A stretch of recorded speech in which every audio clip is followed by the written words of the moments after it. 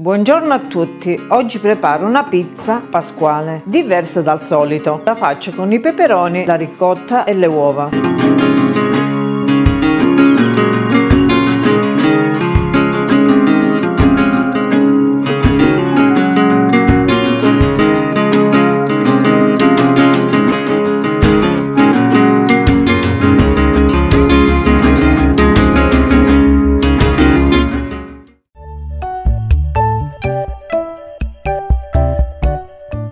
Mi occorre. Per l'impasto 600 g di farina, di cui 300 g 1 e 300 g 0, 600 g di acqua, 10 g di lievito di birra fresco, 6 g di sale, un cucchiaino di miele, 30 ml di olio, per il ripieno 800 g di peperoni, già puliti e fatti a pezzettini, sale e olio quanto basta, 100 g di cipolla, 300 g di ricotta e 5 uova, 300 ml di passata di pomodoro. Inizio la preparazione preparo l'impasto. Mischio le due farine.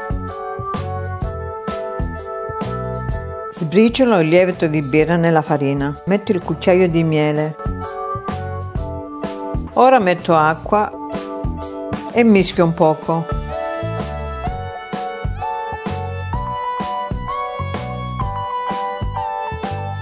Metto l'olio e ancora acqua.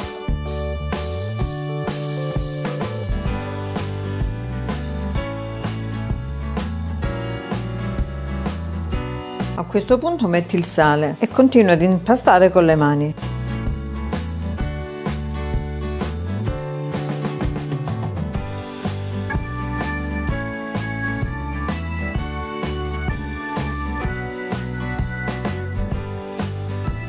Una volta impastato lo lascio lievitare fino al raddoppio del volume. Nel frattempo che lievita la pizza preparo il ripieno. Metto olio nei peperoni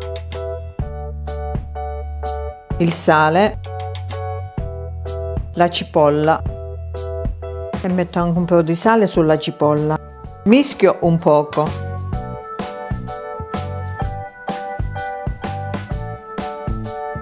Guardate che bei colori, il giallo e il rosso del peperone e il bianco della cipolla. Ora porto sul fuoco, ho messo sul fuoco e faccio cuocere.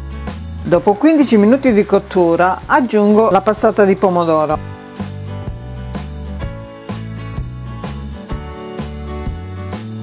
Ora faccio cuocere altri 10 minuti, spengo e faccio raffreddare. Raddoppiata di volume, metto un po' di farina sulla spianatoia e la verso sopra. Allargo l'impasto con le mani.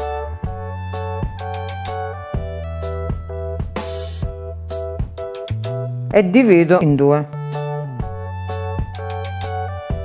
Sempre aiutandomi con un po' di farina, tendo l'impasto.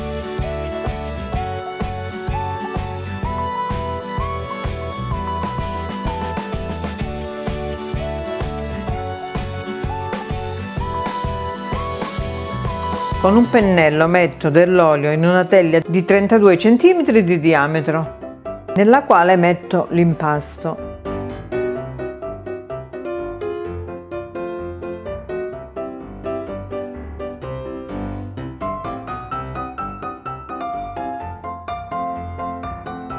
La base della pizza è pronta. Ora preparo il ripieno. Ai peperoni aggiungo la ricotta e mischio.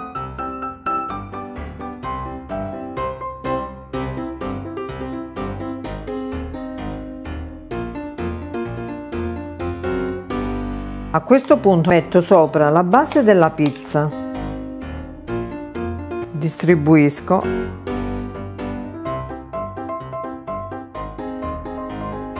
e faccio gli incavi per le uova.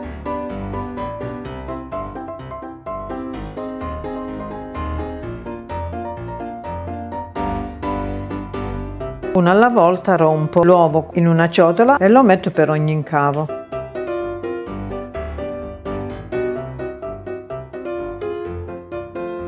Ora preparo la parte di sopra. Ora stendo l'altro impasto.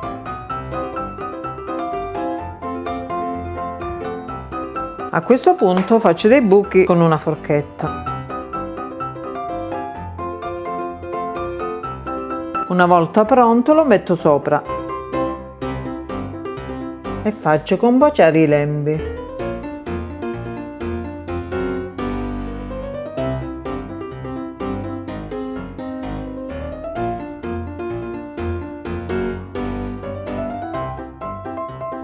Ora con la forchetta bucherello anche i bordi.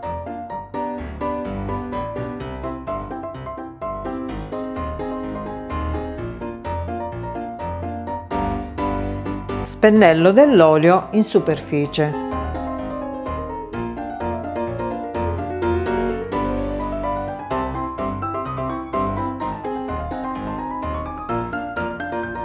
A questo punto lascio lievitare per un'altra mezz'ora e poi vado ad infornare in forno caldo e statico a 200 per 40 minuti. Una volta cotta la tagliamo.